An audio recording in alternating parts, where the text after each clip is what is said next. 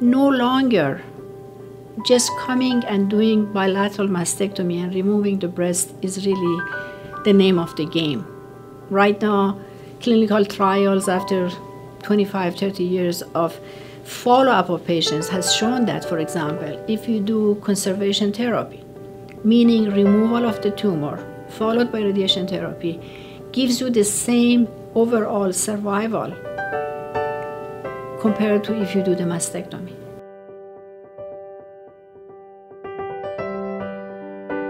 There are clinical conditions that calls for mastectomy. One of the areas that again I'm going back to the risk factors, if you have a young patient, positive family history of cancer, the genetic mutation in breast cancer, and they are carrying these mutated genes. These are the individuals that they may, may benefit from bilateral mastectomy and then follow up with a good reconstructive surgery because that will eliminate up to 95% the chances of them getting breast cancer. The other indications are when the tumor is too large and cosmetically, if you remove that tumor and do the radiation therapy, the breast is not going to look appropriate.